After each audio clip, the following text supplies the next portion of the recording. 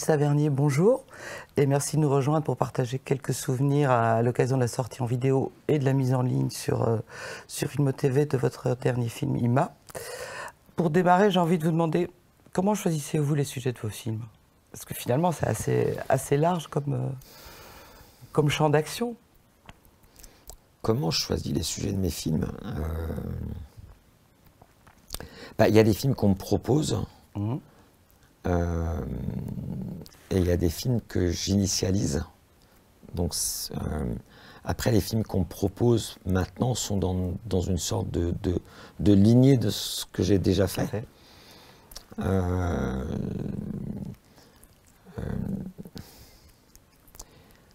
alors peut-être que c'est arrogant de dire ça. en, en, tout cas, j'essaie de faire des films qui vont faire grandir. Euh, sur mes documentaires. Euh, moi, j'ai très peu été à l'école. Et du coup, mes documentaires, je, considère presque que c'est des films qui m'ont permis euh, d'apprendre, de rencontrer des professeurs que j'ai pas eu à l'école, de tenter de soigner ma bêtise. et de, et de, de tyranniser mes convictions. J'ai rencontré des gens qui m'ont permis de, de me remettre en question en tout cas. Voilà. Et ça en documentaire, c'est vrai que ça a été euh, euh, quand même un des éléments majeurs. Après, moi je fais des films qui ont à peu près, euh, à peu près tous le même discours quand même. je travaille sur principalement l'exclusion, l'handicap, la différence.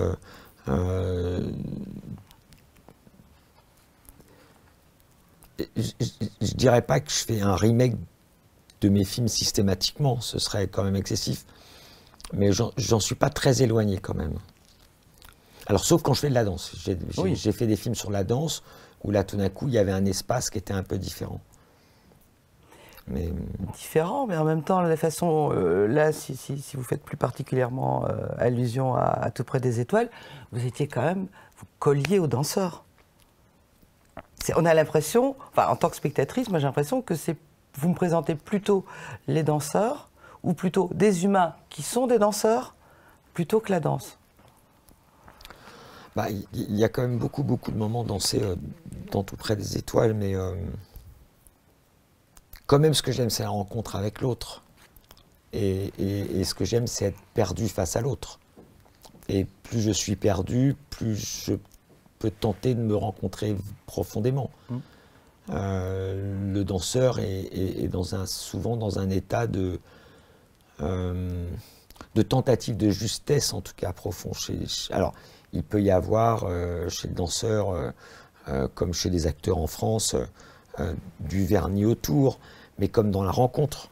moi, ce qui m'intéresse dans la rencontre, c'est le moment où, où je vais accepter d'être un peu perdu. Mmh et que du coup l'autre peut accepter d'être un peu perdu et qu'à ce moment-là, il y a une rencontre. Euh, le problème de la rencontre, c'est la récitation, c'est dans la, d'être dans la récitation de, de, de, le, peu de temps que je vais passer avec vous, il va mettre. Euh, euh, je, vais être, je vais être gagnant si je rencontre une partie de vous que mmh. vous n'avez pas l'habitude de donner parce que vous allez être en récitation. Et si moi je me rends compte, si je vais vous offrir une partie de moi que j'ai pas l'habitude d'offrir. Sinon, on va être dans la récitation. Mm. Alors, on est dans la récitation beaucoup dans la vie, c'est normal. Et, euh, moi, je suis allé voir des espaces où on n'était pas dans la récitation.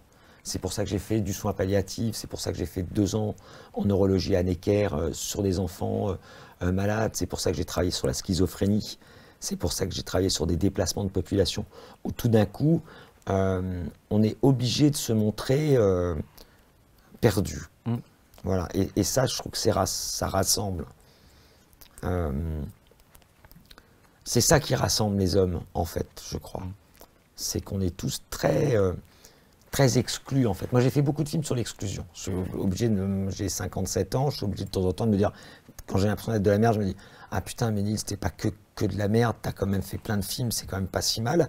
Mais à peu près tous mes films, c'est sur l'exclusion. Et en fait, je, crois, alors c'est pas un cheval de bataille, mais il y a un sentiment que tous les êtres humains partagent, c'est l'exclusion.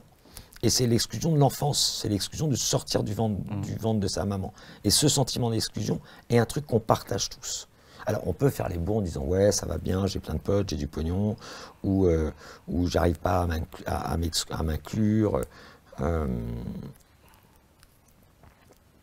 Après, moi, j'ai fait que ça pendant 30 ans, hein, donc je pense que j'ai. ça doit être très. c'est très hystérique chez moi, ce besoin d'avoir envie de me soigner dans, cette zone-là, en tout cas. Mais tout mes films racontent que ça. Et vous avez encore envie d'explorer cette voie-là ou pas? Je ne sais pas si je. C'est pas si oui, c'est de l'envie ou du besoin? Euh, mon prochain documentaire que je suis en train de monter, c'est un film sur des gamins en prison en Afrique. Euh, je suis dedans encore. Euh, évidemment, quand je suis dans l'exclusion la, plus. alors, on peut pas, on peut pas comparer les exclusions, ce serait, ce serait hasardeux, mais, mais un gamin qui a 16 ans, euh, qui fait 10 ans, une fille qui a 16 ans, qui va faire 10 ans de prison parce qu'elle a commis un avortement en Afrique et qu'elle est considérée comme ayant euh, commis un infanticide, elle est exclue de la société. Il n'y a aucun doute par rapport à ça. Et bien c'est vers elle que je vais aller. Euh, donc ce, ce, ce, ce mouvement Vous avez un tropisme pour le pour l'exclu, pour le pour la pour le, différent? Ouais, quand même, ouais. Mais après, je suis pas le seul. On est plein comme ça. Hein. Enfin, hmm. heureusement. Vous ne sentiez pas trop seul. Mais euh, mais j'ai envie de faire des films qui parlent de ça, mais qui montrent que euh, euh, en tentant, on peut tenter de faire des choses et que ça marche. Voilà, j'ai pas du tout envie de faire des films qui sont un appel au suicide collectif, où on dit que l'homme est atroce, que tout, tout, va mal et tout. Je pense que c'est un, je, je, pense que c'est pas une bonne idée, moi. Et, euh, et là, je, je, dis du mal de mes collègues, évidemment, mais, mais euh, je, pense que dans une époque où, où, où, où on a le droit de dire qu'il y a des zones qui sont euh, plus que bordéliques mmh. et, et graves, mais qu'il y a des gens à l'intérieur de ces zones qui s'en sortent je suis euh, attristé par euh, l'idée de dire euh, lui, il fait du mal, c'est un con, et, pas proposer autre chose. Je, trouve qu'on est dans une société, et il suffit de regarder Twitter et le documentaire, et là je parle principalement du documentaire, mais dans les documentaires, vous avez souvent des portraits de zones où ça dysfonctionne. Mmh. Voilà. Et, c'est une chape de plomb. Et sans proposer de solution on vous liste tous les problèmes, on vous les envoie en pleine poire, mais... Euh, Il y a des gens qui font des choses formidables partout, partout, partout, partout, partout. Ces gens ne sont, ne, sont pas valorisés. Euh, et, ça, ça, moi, je le vis comme une douleur dans le paysage audiovisuel. Vraiment.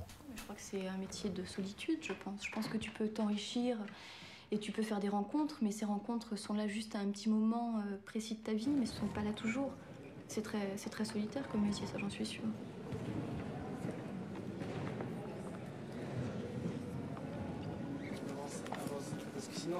Il n'y a pas de solitude du danseur. Déjà au départ, c'est un métier d'équipe. Quand on rentre dans un corps de ballet, on rentre dans un groupe, on rentre dans une équipe, on fait un travail d'équipe. Ce qu'on ce sort sur scène avant d'arriver soliste, c'est quelque chose qu'on produit à plusieurs même si on souhaiterait que chacun ait sa place, on est tellement nombreux que... Et puis le système aussi est comme ça, avec ce système très hiérarchique, avec les concours chaque année à l'école de danse, les examens, avec euh, euh, la possibilité d'être envoyé. Enfin, tout ça, ça, fait, ça met une pression qui fait que c'est difficile de, de lier vraiment des amitiés euh, entre danseurs. Et, justement, vous parlez de, l'importance du documentaire pour vous. Qu'est-ce que ça vous a apporté d'avoir ce, ce, bagage documentaire quand vous passez à la fiction? Euh, Ma réponse ne peut être qu'orgueilleuse là-dessus. Euh, tant pis. Euh, j'ai une capacité à placer une caméra très rapidement. Parce qu'en documentaire, quand il se passe un truc, il faut être rapide. Mm. donc je peux tourner très vite. Euh, après, euh, ça doit me donner une distance. Euh, je peux, je peux, je peux pas, je peux pas réfléchir en tant qu'individu si j'avais fait pas 40 films Mhm. en, tant que documentariste. Je suis obligé de réfléchir avec, euh, ben, je suis un mec de mon âge, je suis né dans, une, dans un milieu particulier, euh, j'ai la gueule que j'ai, euh, j'ai mon passé. bah, mes, mes documentaires, c'est important dans l'histoire de ma vie, c'est sûr. Oui. Et, et finalement, vous mettez du documentaire dans tout. Euh, Non, je vous dis ça parce que c'est vraiment la, la- la réflexion que je me suis faite, et je ne suis pas la, pas la seule, parce qu'on a regardé le film à plusieurs. Dans Ima, Mm. il y a vraiment un côté documentaire. On est entre les deux sur Emma. On est vraiment entre les deux. On est sur un, on, on est sur un, un- une- un système narratif. euh, euh, je, je- je voudrais quand même remettre Ima dans le contexte. J'allais je vous- demander. Si je puis me permettre, Oui, oui, parce, que, parce c'est un film particulier pour moi. Euh, euh, moi, je crois qu'on est tous des petits-enfants, Mhm. au fond de nous. Et on a tous besoin de faire caca, et on a tous besoin que nos parents nous disent « Oh, ton caca, il est mignon ». Voilà, je pense qu'on a, qu'on- a ce truc qui nous lie tous. Mhm. Voilà. Donc on passe notre vie à essayer de faire des gros cacas, des petits cacas, pour avoir un peu de, de genre, euh, nos parents ils nous aiment bien, on a le droit d'être là. Euh, moi je pense que les films c'est comme ça. Voilà, je pense qu'on fait des choses, qu'on Mhm. rencontre des gens aussi. Alors, je dis pas que c'est que ça. Je dis pas que la, la, la, la- propulsion de mon être, c'est la visibilité de mon être seulement vis-à-vis de mes deux parents. Mais, mais ça y contribue. On reste le, le- le petit môme qui a a- besoin qu'on le, je- le reconnaisse je et qu'on l'aime. est- On a tous un peu besoin de ça. Alors, plus ou moins de manière névrosée. Et plus ou moins grave. Voilà. Mais moi, j'avais cette force qui me provenait de l'envie de montrer mes films à mes parents. D'autant plus que moi, j'ai un père qui était réalisateur, une mère qui avait écrit des scénarios sublimes. Euh, évidemment que c'était un moteur. Moi, mes deux parents sont morts pendant le Covid. Donc, je perds ma mère, je perds mon père, je change de statut eh ben, j'ai bien ressenti qu'à ce moment-là, mes envies de faire de- mes- des films, même si j'en avais qui étaient un, un peu en préparation, cette envie, elle est, elle est à ce moment-là un peu différente. Je, je pense que j'ai été perdu. Moi, j'ai perdu mes deux parents très vite. Mm. C'est vraiment six mois d'écart. Ouais. Euh, et on me propose. euh, euh, mon père meurt en, en, en je sais plus quoi, en Mars. en- et en mai, on me propose de partir à l'autre bout du monde avec un chanteur que je ne connais pas, dans un pays africain. Moi, je vais en Afrique deux fois par an depuis 25 ans, Mais, Mais pas dans un- ce pays-là.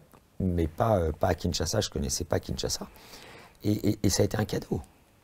Donc, je suis parti comme un, comme un, euh, avec mes potes, comme, euh, comme, comme des ados. On- n'a presque pas réfléchi. Alors, on m'a filé le scénario en mai. On a réécrit. On avait trois semaines pour réécrire. L'acteur-chanteur principal, Dajou, voulait tourner en juillet. Moi, j'ai dit c'est trop tôt, il faut tourner en août. On a tourné en août. Donc, on a été obligé de réinventer le film tout le temps, tout le temps, tout le temps. Euh, euh, la, RDC, c'est un pays en guerre. Euh, voilà, moi, je n'avais pas, j'avais pas spéculé là-dessus. Donc, on est parti un peu comme ça et on s'est retrouvé dans un pays où, il y a, à 2000 km, il y avait une guerre. On est dans un pays où 74% de la population vit en dessous du seuil de pauvreté. Euh, euh, il y a 100 familles qui roulent avec des 4x4 partout. Le film est gant. Le, le- le pays a malheureusement, euh, sur l'échelle de cote internationale, est un des huitièmes ou septièmes pays les plus corrompus au monde. Il y a une guerre qui est là depuis 15 ans. Il y a 6 millions et demi de morts dont personne ne parle. C'est des taux de viol collectif à la frontière. Après, Kinshasa, c'est une ville qui peut être formidable, où il y a une énergie formidable, euh, qui est très dangereuse. Euh, euh, euh, où il y a une jeunesse qui a envie euh, de faire de la musique, de danser, de s'éclater, euh, mais qui est euh, sous une chape de plomb, euh, euh, avec des gouvernements euh,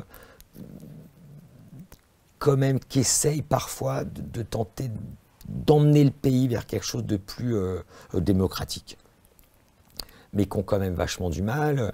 Euh, ça a été une des colonies les pires euh, générées euh, par les Belges, où les mecs faisaient, où le roi des Belges faisait quand même. Donc c'était quand même un pays, particulier. Donc on est arrivé et il fallait tout reconstruire. C'est-à-dire que moi je proposais, je disais, je sais pas quoi, euh, je veux tourner dans la rue pendant, euh, pendant, euh, pendant une heure. Et ben c'est pas possible. Moi je tournais avec Dajou dans la rue pendant 30 minutes, et au bout de 30 minutes, j'avais 400 mômes qui voulaient tout casser. Et j'avais des coups de feu, des mecs en prison, des, mecs. Donc, il a fallu réinventer le film totalement. Et, et ça, Dajou, il a été vachement malin parce qu'il jouait et à la fois son propre rôle dans le film, et à la fois il devait être acteur. Euh, il a été. il s'est vachement bien adapté, en tout cas, à ce système de tournage. et il y avait un autre truc que j'avais rajouté dans le scénario et qui me donnait de l'énergie pour faire le film, euh, c'est que je ne crois pas qu'on peut, qu'on puisse. Euh, on est sur une planète qui est en train de brûler. C'est dû à plein de facteurs, mmh. évidemment la consommation. Voilà. Moi, je pense qu'il faut évidemment freiner la consommation et je pense qu'il faut freiner malheureusement la natalité dans les pays pauvres. Voilà. Ça, je pense que c'est majeur. On s'aperçoit que dans les pays on ne peut plus dire en voie de développement, mais je vais le dire quand même, la natalité, elle est très très très élevée. Elle reste. Voilà. Euh, euh, à Kinshasa, les femmes, elles font 6 à 7 enfants par femme. C'est-à-dire qu'elles ne peuvent rien faire d'autre. Voilà. La seule manière de freiner la natalité, c'est l'éducation des petites filles. Voilà. Qui est en train de chuter de manière libre mmh. en Afrique. Voilà. Donc, le personnage de la fille, dont Dajou tombé amoureux. C'était une fille qui avait envie d'être autonome financièrement, ce qui est une notion euh, en Afrique assez rare dans les milieux populaires, qui avait envie de faire des études et qui avait envie de s'occuper de la biodiversité. Et ça, c'était euh, euh, un chemin de valeur que j'avais envie d'offrir à ma fille. Tout d'un coup, on sortait de l'archétype de la fille, d'une star euh, parce que Dadju, c'est 7 millions d'Instagram, de gens sur Instagram, donc c'est une star absolument gigantesque. On sortait de l'archétype d'une fille qui va s'habiller mignonne pour draguer un mec qui a du pognon pour accéder à des valeurs de la société capitaliste. Moi, j'ai envie de dire à ma fille qu'elle peut s'habiller un peu pourri, que c'est pas grave, que les marques c'est pas important, qu'elle peut devenir autonome, et, ça avait de la valeur. Moi, ça mettait de la valeur dans le film. Euh, mais c'est vrai qu'on a tourné. Euh, euh, quand on tournait, par exemple, et, et, Dadju m'en voudra pas, on a tourné un concert, un vrai concert qu'il faisait, mmh. devant 18 000 personnes. Et j'ai dit à Dadju, ce qui serait formidable, c'est de mettre une séquence du film à l'intérieur du concert. Donc il commence le concert, et il sort, il met un pote à lui qui va chanter une chanson. Et à ce moment-là, nous, on tourne une scène de fiction pendant le concert. Donc ça, c'est un cadeau du ciel. Après, je ne suis pas le premier à l'avoir fait. Hein. Euh, Star is Born, ils n'ont pas arrêté de le faire. C'est pas une invention de ma part. Euh. en tout cas, ça vous permet d'avoir 18, 000 figurants. C'était dément. Et Dadju vient me voir après avoir tourné. Il vient me voir, j'étais sur scène avec une caméra. Et il me dit, euh, Nils, il faut fuir. Je dis, comment ça, il faut fuir? J'avais 40 mecs dans l'équipe, partout, et tout. Et il me dit, il faut fuir parce qu'on ne peut plus contrôler le parterre. Donc c'était constamment comme ça. Donc il fallait qu'on s'adapte avec la violence, avec, euh, avec euh, euh, Kinshasa, c'est 14 millions de personnes. 85 personnes, 85% des gens qui vivent sous le seuil de pauvreté, mmh. dans des sortes de townships, qui sont des zones de non-droit, de 500 à 1 million et demi de personnes dedans, dans lequel on a essayé de tourner. C'était une catastrophe, mais oui, parce que euh, finalement, on voit peu Kinshasa. Ou alors ce qu'on en voit, c'est désert. Alors, il y a quand même pas mal de plans de bagnoles, de rues euh, qu'on a volés, parce que, parce que quand vous arrivez à Kinshasa, c'est interdit de faire des photos. C'est interdiction, c'est une loi. Vous n'avez pas le droit de faire des photos. Donc c'était toujours été, un peu compliqué. Mais euh, le, problème de, on a des problèmes en France sur la police majeure, sur euh, l'éducation majeure, sur la santé majeure. Le service public est en train de s'effondrer, tout le monde le sait. Mais alors quand vous allez en Afrique, c'est euh, ou dans des pays comme ça, vous vous dites mais putain, mais euh, les mecs ils sont hyper gentils. Les flics savent pas lire là-bas. Vous avez des autorisations pendant le Covid, les mecs ils savent pas lire. Ils sont payés que dalle. Mmh. Donc leur envie forcément, c'est d'essayer de vous dire tiens, est-ce que tu n'as pas 20 balles ou c'est pas le bon papier, donc il faut payer pour. Euh, mais ils savent même pas si c'est le bon papier ou pas. Non, mais ils le disent. Ils, vont dire n'importe quoi. Ils vont dire euh, ce qu'ils ont envie de dire pour essayer euh, de subvenir à leurs besoins de base. Mm. non, j'ai trouvé le film, j'ai trouvé le, tournage. c'est humainement, c'est le film le plus dur que j'ai fait.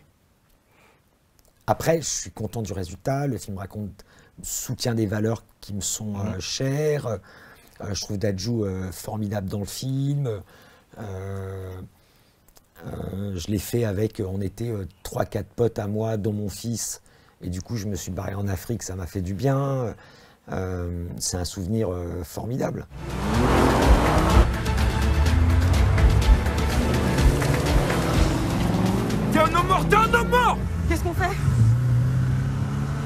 M'arrêter, tu vas sortir, c'est moi qui vais me suivre.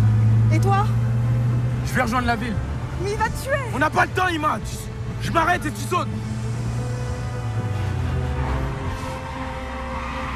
Sors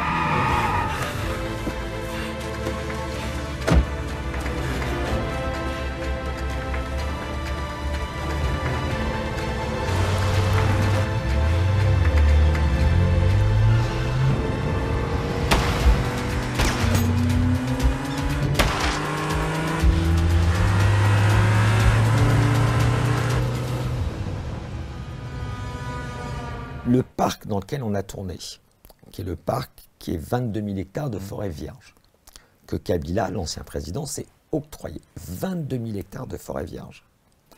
Il s'octroie 22 000 hectares de forêt et il décide de mettre des barrières autour des 22 000 hectares de forêt vierge et, donc de virer les habitants. Et les habitants se démerdent quand même pour découper le grillage et venir voler euh, du bétail ou braconner, parce qu'ils avaient l'habitude de, braconner là-bas. Kabila, il décide d'acheter deux conteneurs des serpents les plus vénéneux au monde et il les met dans, dans son parc. Et il dit aux villageois, il y a les serpents les plus dangereux du monde. Nous, on a été informés de ça deux jours avant le tournage sur place. Et Dajou, il avait ultra peur des serpents. Donc j'avais des assistants qui tapaient des bâtons parce oh, qu'il ne fallait pas que les serpents viennent. Euh, on est, on est, on est dans des pays qui, sont... Euh, euh, on ne se rend pas compte. Kabila, un matin, il s'est réveillé, il a dit, tiens, je voudrais sur cette dune euh, trois Boeing. Alors on a dit, on ne va pas mettre trois Boeing sur une, dune au milieu de nulle part. Une dune au milieu de nulle part. Ah, mais il a acheté trois Boeing. Il a découpé trois Boeing, il, a, il les a mis dans des, dans des conteneurs, dans, dans des gros camions, il a fait construire des routes par des Chinois. Et il a mis trois Boeing dans son parc qui ne servent à rien les comptes en or, c'est trois volumes. Non, non, on est dans les pays compliqués quand même. On est dans les pays compliqués. Mais il y a, y a encore de la poésie, il y a encore de l'envie. Euh, euh, moi, j'ai trouvé des groupes de danseurs là-bas magnifiques. Euh, c'est quand même économiquement et politiquement 15 ans de guerre sous-jacente un impact sur la psychologie des individus quand même. Faut pas. Moi, je vais beaucoup au Sénégal. On n'est pas dans les mêmes régions comme ça. Euh, le Mali, c'est pas pareil. Le Mali, il y a un merdier euh, euh, gravissime depuis maintenant une dizaine d'années, mais, mais là, c'est des chapes de plomb, quoi, de, depuis 4, 5, 6 générations. Après, c'était super à faire. Enfin, moi, j'en garde un souvenir formidable aussi, hein, vraiment. Hein. Et, justement, dans, cette organisation euh, non organisée, euh, les, petites échappées la nuit quand ils, quand ils vont se balader dans. Euh, c'est un enfer. Mais, mais, donc, c'est quoi? C'était écrit bah, C'était échappé la nuit, c'était pas écrit. on a essayé de le mettre en place. On a essayé de le mettre en place. L'échappée la nuit avec la jeune comédienne qui était un peu fragile ce soir-là sur le texte. Et eh ben, c'est une émeute, c'est 400 mômes qui viennent, qui veulent rentrer dans les voitures. C'est Dajou dans un 4x4 enfermé parce qu'il y a 50 mômes qui sont sur son 4x4 qui veulent rentrer pour ou avoir un autographe ou lui prendre un peu d'argent, on ne sait jamais vraiment tout. Euh, une équipe de, de, caméramans qui se barrent, qui mettent les caméras euh, rapidement dans les bagnoles pour se barrer le plus rapidement possible. C'est des coups de feu des mecs en prison. C'est très compliqué. Alors on a l'impression que ça se balade comme ça, c'est très sympathique. Mais la réalité est tout autre. On peut prendre une photo presse d'âge. Ouais, vas-y, pas de problème. Avec mes gars. Regarde. Avec tes gars là? Ah ouais, avec mes gars. Vas-y, tu m'attends deux secondes Ouais. Venez, on fait une photo Ça va les gars? Au top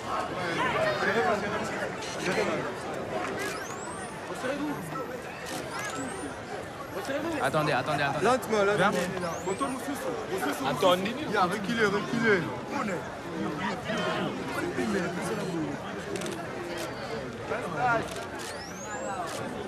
Tiens, on y va. Vas-y les gars. Oui, parce que elle est très très calme cette, euh, cette balade. Elle est pas du tout calme. c'est un enfer. C'est un enfer. Non, non, elle est très calme. Mais euh, Dadju, il a un truc qui est, qui est- qui est très impressionnant, c'est que même quand c'est un bordel monstre autour de lui, il reste absolument serein. Il a un contrôle sur lui qui est hors norme, hors norme. C'est impressionnant. Il, il connaissait le, le- le pays de l'intérieur ou? Bah, il est euh, quand il va à Kinshasa, il fait, il fait euh, un concert. Il arrive en 4x4 avec des gardes du corps parce que sinon il ne peut pas rentrer dans l'endroit. Il fait son concert. Il se barre avant la fin du concert parce que sinon c'est l'émeute. Et il fonce et il va dans l'hôtel où il prend le sixième étage, Étage intégralement tout le sixième étage pour ses copains. Euh, il ne peut pas faire de la rue, hein. C'est pas possible. C'est impossible. Mais même en bagnole, c'est compliqué d'être dans la ville. Parfois, il se fait bloquer en bagnole. Il, est à, euh, il, a, euh, il, va arriver une heure, une heure et demie en retard, et les gardes du corps m'ont dit parce qu'il est coincé? Si les gens le reconnaissent, c'est Oui, foutu. C'est l'émeute. C'est l'émeute. Ça n'a rien à voir avec n'importe quel acteur français. Rien. Rien. Moi, j'ai tourné avec Alexandra Lamy. euh, alors, vous avez euh, 25, 30 personnes à qui vous dites s'il vous plaît, on demandera les autographes après, les gens sont calmes et tout. Là, c'est pas du tout le cas. Là, c'est 200. C'est. C'est. C'est une ville où il y a 12 millions d'habitants. Et ils connaissent tous Dadju parfaitement. Ça, on, on parle d'autre chose. Et tout ça, vous l'avez découvert sur place euh, Ouais, je m'en rendais pas compte. J'avais vu le documentaire qui avait été fait euh, sur Netflix, qui est vachement bien d'ailleurs, sur son frère euh, euh, Gibbs. Gibbs, où il se balade la nuit aussi. On sent que c'est rapide. Dadju, il m'avait dit c'est un peu difficile, Nils, on pourra tourner euh, 40 minutes dans la rue avec moi, mais ça devient difficile. J'avais pas estimé, sincèrement, mais lui non plus. Euh, donc il fallait qu'on trouve des systèmes euh, euh, de tournage, il fallait réinventer tout, tout le temps, tout le temps, tout le temps, tout le temps. Donc j'avais mon scénariste sur place. Heureusement. Et, et là, vous deviez être content d'avoir l'expérience de, du documentaire où vous, arri- vous arrivez, hop, Ah non, on se met si- là, un, deux, trois, c'est parti, on S'ils tourne. m'ont demandé de faire le film, c'est pas par hasard. Oui, vous parce dit, que comment vous êtes arrivé là-dedans bah, Ils m'ont proposé, euh, c'est une proposition de mon producteur, euh, Guillaume Roy, qui a eu cette idée euh, super, d'ailleurs, je le remercie vraiment. Il s'est dit qu'il cher- cherchait un mec qui avait fait un peu. Moi, j'ai fait pas de la guerre, mais j'ai fait du déplacement Mhm. de population, j'ai fait l'Iran en 92, j'ai fait les émeutes. euh, enfin, j'ai quand même fait deux, trois merdiers Mhm. lourds. Donc, il fallait quelqu'un qui soit rapide, euh, qui ait fait du terrain un peu difficile Mhm. et qui ait fait de la fiction. On n'est pas à 50. hein. Non. Donc euh, voilà, moi je suis hyper content d'avoir fait le film, c'est sûr. D'avoir fait le film ou d'avoir survécu au film? Euh, Non, c'est peut-être dur, survécu quand même. Je suis content qu'il n'y ait pas eu de mort. Euh, je suis content qu'il n'y ait eu personne de, de- de- de piqué euh, par ces euh, serpents euh, insupportables. Euh, euh, je suis sorti du film euh, euh, meurtri quand même. Meurtri. Ravi d'avoir rencontré Dadju, ravi d'avoir mené le projet à bout, euh, ravi d'avoir fait des courses-poursuites euh, euh, dans des terrains. Euh, euh, Miné au sens premier non, c'était. Non, c'est vrai quand j'y pense. Les mecs qui nous baladaient dans le parc de, Kabila, qui, donc, ils, rêvaient d'en faire un grand zoo. Ils disaient que c'était. euh, on- donc on était en 4x4 dans, dans des pistes et il y a des rhinocéros. Moi je ne savais pas qu'un rhinocéros peut être très dangereux. Et les mecs nous disaient, mais Kabila refuse de mettre les rhinocéros dans des parcs clôturés. Et donc ils avaient peur parce qu'il paraît qu'un rhinocéros qui attaque et qui défonce un 4x4, le 4x4 est par terre. Ouais. Donc on avait des, chau- des- des chauffeurs qui tremblaient de peur quand même. Donc c'est un contexte quand même particulier. ouais. C'est quand même pas, euh, c'est pas quoi, euh, le jardin d'acclimatation quoi. Oui, c'est pas une journée à Thoiry, quoi. C'est. euh, Non, mais après, Dadju, il a été super. On a une équipe qui a quand même tenu le choc.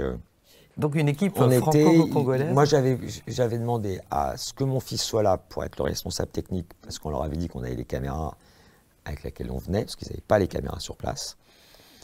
Euh, après, si je commence à parler de la technique, vous allez en avoir pour deux heures, et ça, je vais ennuyer tout le monde. Euh, j'avais mon scénariste, parce que je savais qu'il fallait qu'on réécrive les trucs non-stop. Et j'avais euh, Emmanuel Mathieu, avec qui j'ai fait 20 ans de documentaire. Où je savais qu'avec Emmanuel, si on était dans la merde, on allait trouver une solution. C'était pas, c'était une équipe de fiction, mais c'était une équipe euh, euh, un, un peu, un peu entre les deux quand Oui. même. Hum, hum, hum. Un peu Euh, entre les deux. c'est- C'est vrai. Baby girl,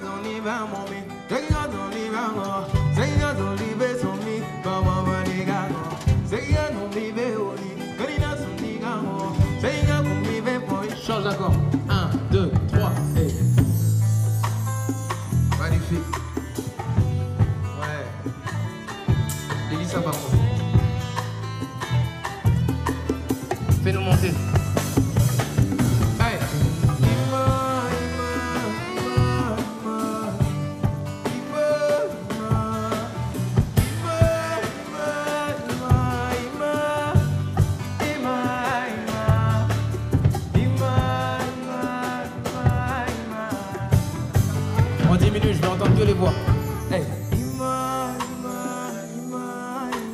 Est-ce qu'on peut dire que le tournage de, de Toutes nos forces était de tout repos par rapport à ce que vous venez Ah de oui. dire? Ah ouais, c'était beaucoup plus facile. De toutes nos forces, c'était beaucoup plus facile. De toutes nos forces, c'est un film qui se passe en France, euh, c'est des acteurs français. euh.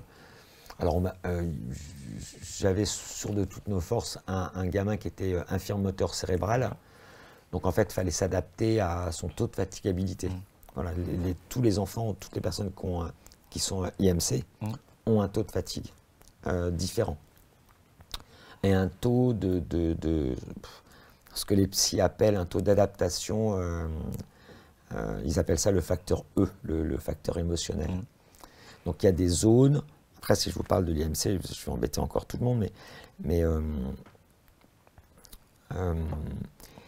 il y a des pathologies qui ont un impact sur l'émotion. Voilà. Sur les enfants infirmes moteurs cérébraux, ils ont des émotions qui vont mal gérer. Alors ça peut être des émotions différentes. Euh, par exemple, Fabien, dans De toutes nos forces, euh, si une porte se claque, il va sursauter. Et il ne peut pas le gérer. Il est au courant lui-même qu'il a une problématique de facteur émotionnel. Voilà. Euh, ça peut être sur, une, un- sur un- une relation affective. Voilà, moi, si j'engueule Fabien, l'acteur de, de toutes nos forces, si je suis un tout petit peu trop fort, il va avoir. euh, euh, je ne sais pas comment dire ça. Un blocage ils ont ce qu'on va appeler un surmoi poreux. Voilà, sur le rapport affectif. Voilà, si je lui dis je t'aime, ça peut prendre une place. Voilà, il y a- il y, a une forme de, de, de, de- de, euh, d'état intérieur qui est moins contenu euh, que d'autres enfants qui n'auraient pas cette problématique-là. Voilà. C'est souvent dû à, à- aux, aux crises d'épilepsie, en fait. On s'aperçoit que tous les enfants qui ont des crises d'épilepsie ont un de- facteur E dysfonctionnel.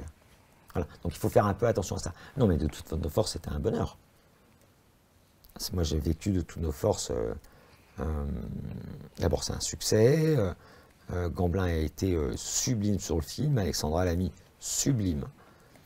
Euh, je me suis baladé avec le film. J'ai fait 30 villes. Les gens étaient euh, en pleurs, debout, applaudissant le gamin. euh. Ah non, moi, j'ai vécu de toutes nos forces comme un cadeau, hein, vraiment. Et tourner sur l'Ironman, ça a été facile euh, de vous greffer sur l'épreuve? ouais, ça n'a pas été très compliqué. Ah, De toute façon, après Kinshasa, tout est simple. Oui, sauf que j'avais fait. Oui, c'était avant, mais Mais euh, j'ai bah, j'ai fait des choses un peu difficiles avant, mais, mais, mais les choses difficiles que j'avais fait avant, c'était et en documentaire Mm. et en, mission humanitaire. Donc Kinshasa, c'était différent. Euh, après, je ne vais pas comparer les difficultés, mais euh, ce serait idiot de comparer les difficultés. difficultés. Et puis, puis les difficultés, elles sont vécues bah, différemment au moment en fonction de. on les subit. euh, de toutes nos forces, c'était un film euh, bah, qui parlait de la différence, de l'inclusion. euh, et euh, c'est un film qui a été compris. Donc c'était un film. euh, moi, j'ai envie de faire des films populaires.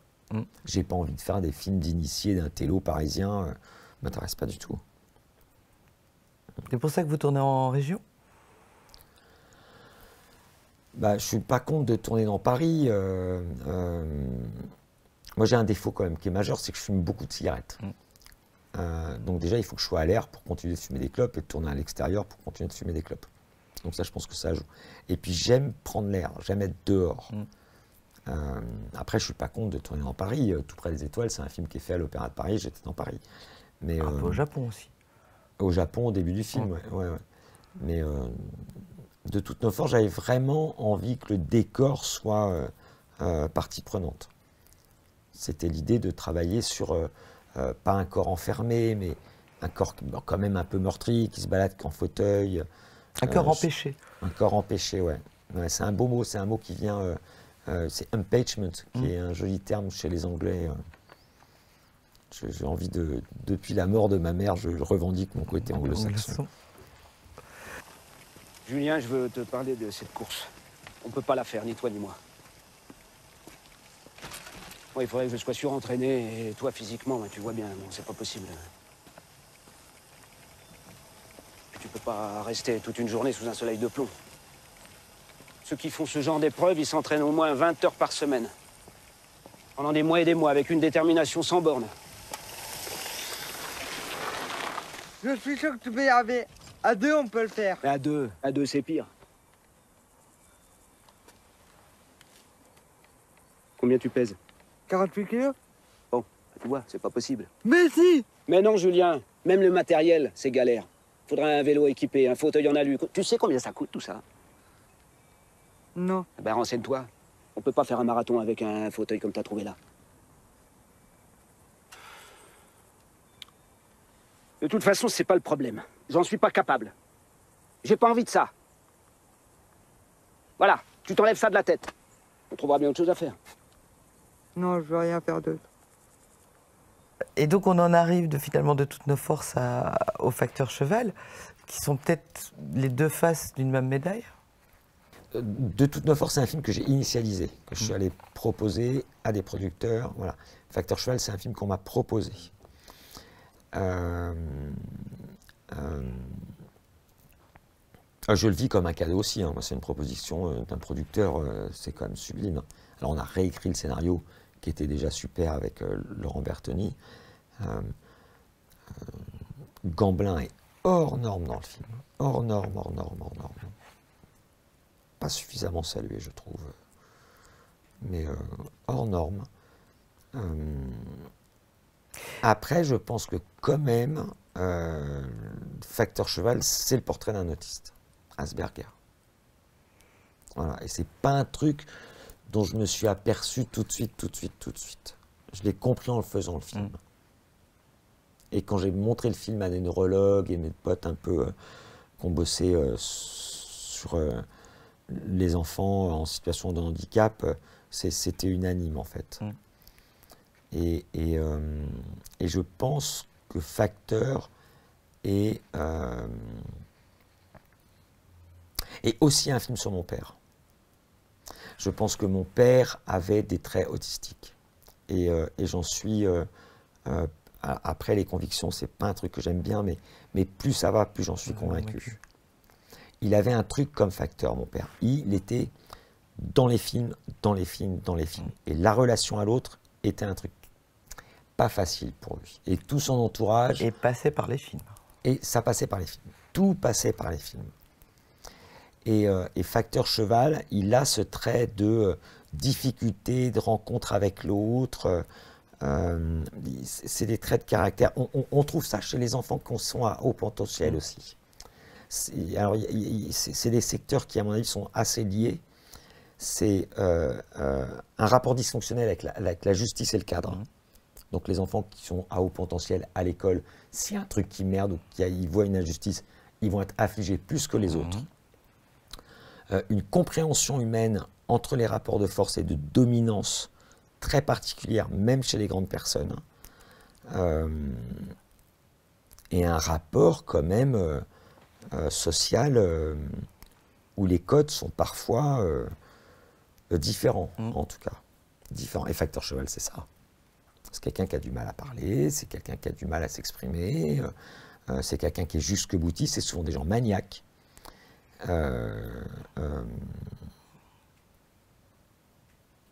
C'est des personnalités intéressantes. Mais et justement, le, le- le- le- c'est un, un défi de mettre en, en image un personnage aussi secret qui, qui extériorise autant de aussi peu de choses, pardon. C'était présent à l'écriture ou, ou comme vous dites, vous C'était vous en rendu compte en... C'était ultra présent à l'écriture. Je, je reprendrai plus le risque. C'est-à-dire de faire un film sans enjeu. Nous, on nous demande, en tant que réal Mm. ou en tant qu'auteur, moi je ne suis pas une grosse star, je ne suis pas. euh, voilà. Euh, donc euh, donc on, a, on a des producteurs qui nous demandent des choses parfois. Alors on réagit plus ou moins. voilà. Mais il y a un truc d'enjeu qui arrive de la- du fait que, que la télé s'est mise à produire les films de cinéma. Donc on a besoin d'avoir des enjeux. Est-ce qu'il va, je sais pas quoi, coucher avec la fille? Est-ce qu'il va Tuer l'amant? Tuer l'amant? Voilà, il, y a- il y a- faut, il faut des enjeux comme ça.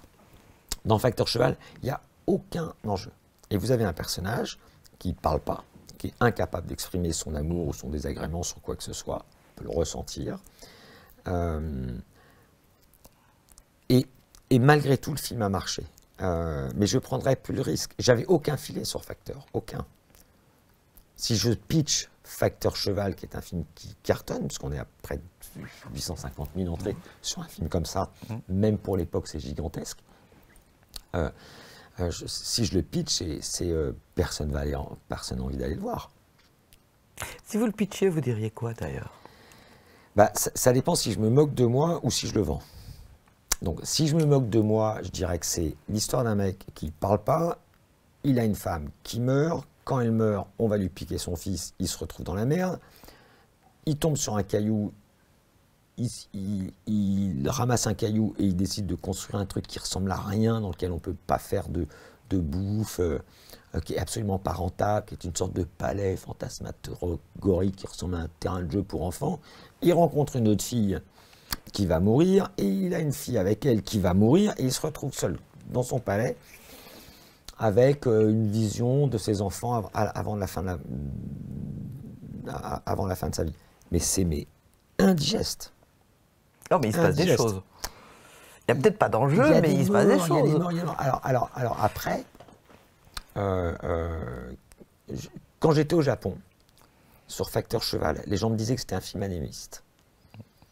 C'est, alors je peux dire aussi, alors si tout d'un coup euh, je rentre dans un orgueil ou, ou dans, dans une, dans- dans une envie de vendre, je dirais, c'est un film qui raconte l'histoire d'un homme qui n'a pas d'autre choix que d'aller jusqu'au bout de ses rêves, quoi qu'il se passe. Et que ça, c'est une leçon et d'humilité et de travail. Et que c'est un homme qui accepte d'être euh, euh, en prise avec, euh, je sais pas quoi, comme il le dit dans le film, hein, euh, les oiseaux, les nuages, le vent.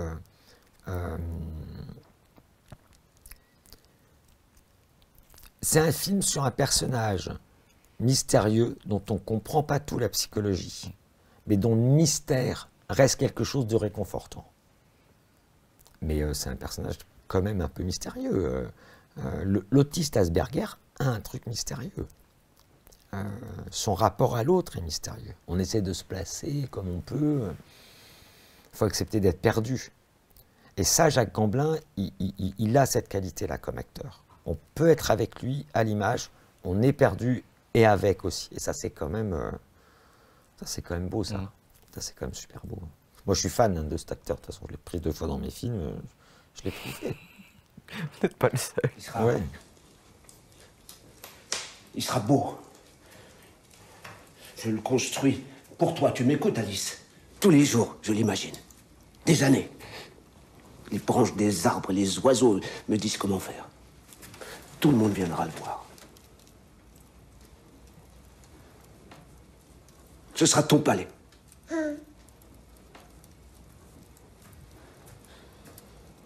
Un palais?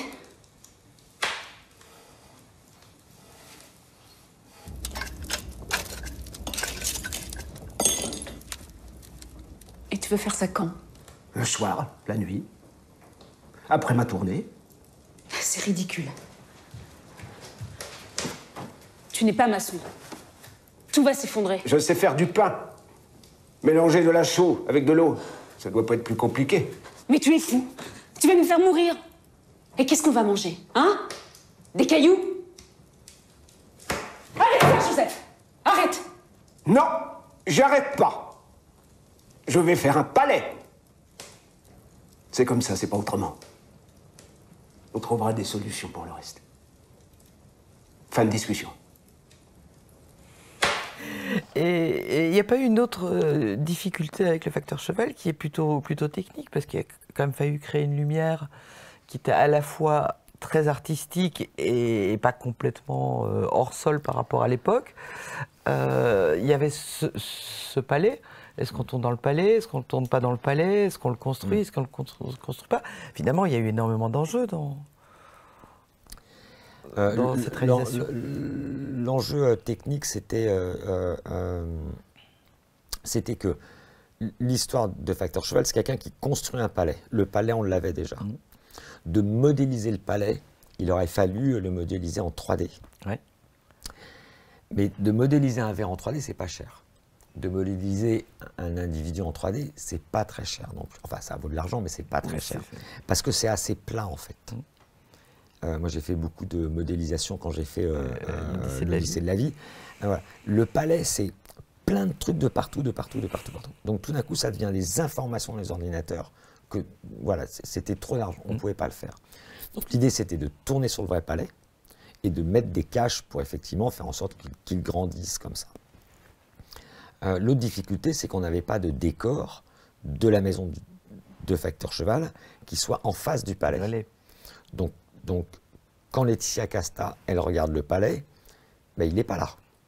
Donc, je suis obligé d'être de l'autre côté de la fenêtre et d'inventer une réflexion Mhm. sur la fenêtre du palais que je, vais, Ok. que je vais mettre moi sur les, sur les vitres.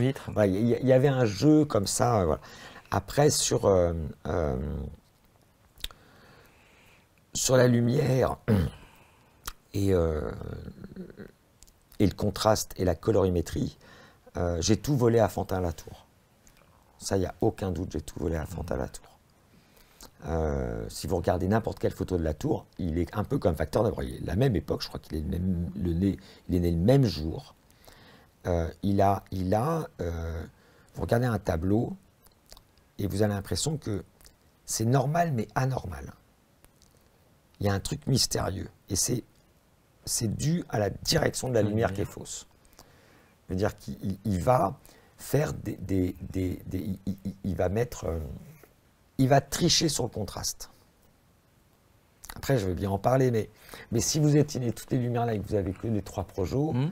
et ben, et ben là, forcément, il va y avoir une gamme de gris qui va, qui va s'effondrer dans le noir. Mhm. Voilà. Et ben ça, il le triche. Donc, il ment sur la lumière. lumière. Il dit qu'il est dans une lumière réelle, Mhm. que ce soit en intérieur, et c'est quasiment que des tableaux en intérieur. Et en fait, il la Il triche. triche. Donc, il ment sur la direction de la lumière, mais de manière discrète. Voilà. Et il ment aussi sur la colorimétrie des murs. C'est-à-dire que tous les murs, il n'y a aucune. Tous les tableaux de Fontaine-Latour, alors ça, sur tous les chefs, pas aller voir ça parce que c'est incroyable. Tous les tableaux de Fontaine-Latour, il n'y a aucun mur qui sont plats. C'est que des murs qui sont avec des petites couleurs qui sont. euh, T'as pas un bleu uniforme. Donc du coup, moi j'ai fait reconstruire tous les aplats des intérieurs en copiant cette idée de Fontaine-Latour, avec ce bleu. Voilà. Mais il fallait pas que le bleu soit exactement le même bleu que le bleu des, Des yeux des Tiacasta, par exemple. Donc tu vois, on, on- on cherchait des teintes comme ça. Et Fontaine-Latour, il a un autre truc aussi, c'est qu'il désature tout un petit peu. Ça, on le fait sur la machine dont tu me parlais.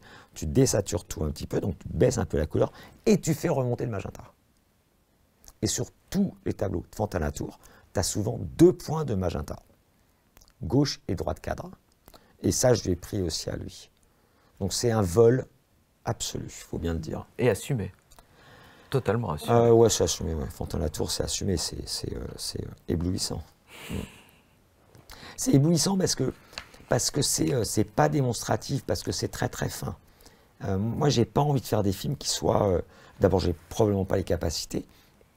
ou peut-être que c'est arrogant de ma part que de dire ça, mais euh, euh, j'ai envie de faire des films où la mise en scène est au service de l'histoire. Voilà, je n'ai pas l'arrogance encore, ou peut-être que je devrais l'avoir, de faire des films qui soient des leçons de mise en scène. Et Fantin Latour, il sert son propos. Moi, j'ai envie de faire des films qui servent le propos. J'ai envie de soutenir une histoire. Voilà. J'ai pas envie de dire, regardez, euh, comme je suis fort avec une caméra, euh, euh, parce que je suis moins fort que d'autres. et j'ai revu le premier plan séquence de Samba, il est sublime. j'ai pas ce truc-là, je crois en moi. Ça me va bien de me placer au service des autres mm. ou du sujet. Ce qui nous ramène au documentaire. Mais dans le documentaire, c'est pareil. Il y a des gens qui font du documentaire et qui, font, et qui, et qui sont frimes en mise en scène. C'est comme l'image. Vous avez des chefs-op qui vont faire une image pour dire Ah, t'as eu mon image, elle est intéressante et tout.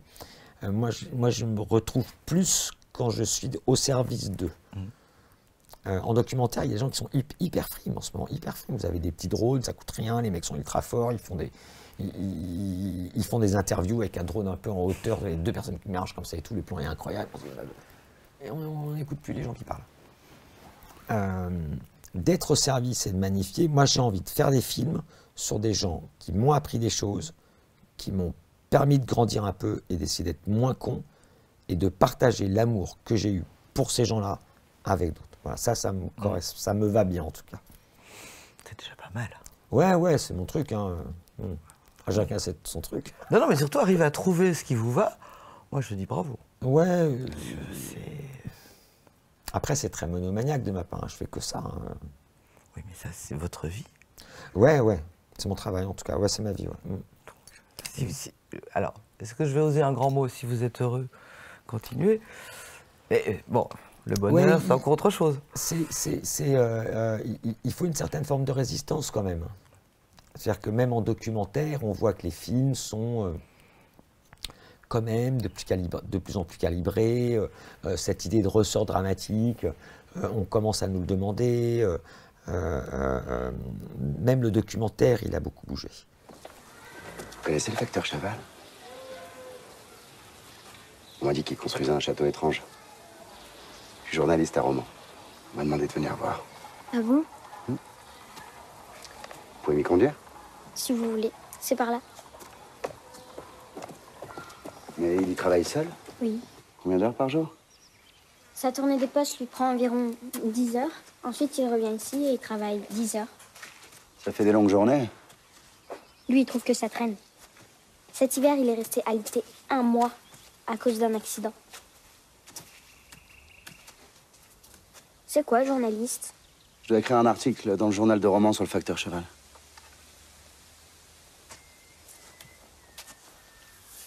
Cette construction est admirable. Vous trouvez? J'ai jamais rien vu de tel. Même un roman?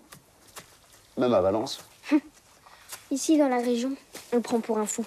C'est normal, les gens sont incultes, ils n'y connaissent rien. Je sais. Vous, par contre, vous m'avez l'air futé. C'est normal. Mon père sait Joseph Ferdinand Cheval. Mademoiselle Cheval? Quel honneur. Pourquoi vous ne me l'avez pas dit plus tôt? Je préfère rester discrète. Et celui que vous êtes en, train de terminer sur les, les, enfants euh, en prison, il est, c'est une production personnelle? Vous, vous êtes une ah, Moi, je ne suis pas producteur, moi. J'ai pas du tout, je suis pas un homme d'argent du tout. Euh, je suis très mauvais. Euh, donc j'ai demandé à un producteur de m'aider. Je suis allé voir euh, LCP mmh. euh, et TV5 Monde. Euh, c'est un film de propagande humaniste. Alors c'est vraiment pas du tout un film il n'y a pas du tout de, de, de, proposition artistique plus que ça. Après, j'essaie de faire des plans avec des optiques qui sont presque aussi bons que ceux-là, sûrement meilleurs peut-être. donc je fais, gaffe à l'image. Mais c'est vraiment des films de propagande humaniste de base. Mmh. Voilà, c'est un film sur euh, des mômes euh, en prison au Sénégal, à Thiès, qui est une ville à 70 km de Dakar, euh, qui font de l'escrime. Et c'est. après, moi, c'est un sujet qui me passionne, hein, mais, c'est une allégorie à la justice réparatrice. euh, euh, 400, mais je crois que je vous ai dit à peu près 400, euh, euh, 450, les 400 gamins, en tout cas mineurs, incarcérés euh, pour, euh, en, en- en pénal, donc pour du crime, aucun n'ont récidivé avec notre méthode depuis 10 ans. Voilà. Et c'est euh, bah, un chiffre, d'abord, un, au-delà de nos espérances. Dans le Ouais. travail, moi, c'est une association dans laquelle je travaille depuis 25 ans. C'est- et c'est évidemment dû à l'escrime. Et donc, on s'est rendu compte que l'escrime était probablement une allégorie à la justice réparatrice. On a un taux de récidive dans les prisons, dans le monde entier, absolument majeur. Voilà. Les seuls endroits où il y a un taux de récidive plus bas en criminalité, euh, euh, c'est au Canada majoritairement. Et c'est dû à la justice restauratrice ou restauratrice. Voilà. Le système est vachement simple. C'est de reconstruire l'empathie chez un individu qu'il aurait perdu au moment des faits. Je tue votre sœur. On va se rencontrer tous les deux avec un médiateur. Et le médiateur va faire en sorte que je ressente votre peine. Et si je ressens votre peine, alors je vais moins repasser Repasser à l'acte après. Voilà. On s'aperçoit que sur la pédophilie, ça marche. Moi, je pensais que la pédophilie, c'était une maladie qui n'était pas soignable. Oui, oui. Les chiffres de la pédophilie au Canada ont chuté drastiquement grâce à cette méthode. Alors, ça ne marche pas systématiquement. Non, non, bien sûr. Mais- Euh, euh, euh, et ça, c'est très beau de penser qu'un individu peut avoir été ultra con, avoir fait des conneries ultra graves, mais, Mais puisse possibilité de possibilité d'évolution. Et ça, ça permet de croire en l'homme. Mm. C'est- joli. Voilà, le film parle de ça, en tout cas. Par l'escrime. C'est beau. Ah, moi, j'ad- je suis, bah ouais, je suis fan. Et on pourra le voir quand? Bah, dans trois semaines, je crois. Il sort Ah un ouais. mois si j'arrive à le terminer. Oui, non, mais là, il faut vraiment qu'on vous lâche pour que vous puissiez aller le finir. Bah, écoutez, merci beaucoup. Merci à vous. Euh, et puis, bah, à bientôt. Et bah, à bientôt. Merci. Mon avenir, il est caché dans ton corps. Et les clés que j'aime utiliser n'ouvriront pas ta porte. Regarde-moi donner ma vie, regarde-moi changer la tienne. J'immortaliserai aujourd'hui pour que demain s'en souvienne.